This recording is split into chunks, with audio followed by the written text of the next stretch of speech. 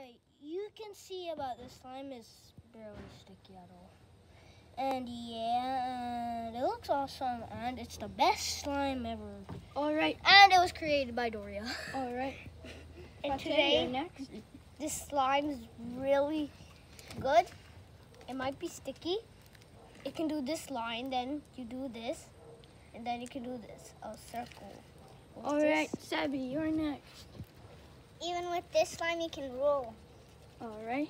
You're With next. this slime, you can torture it. Ah! I'm gonna get it. Sabby, get it! Don't do that. Well, that's a fail. No, it isn't. All right, you're next.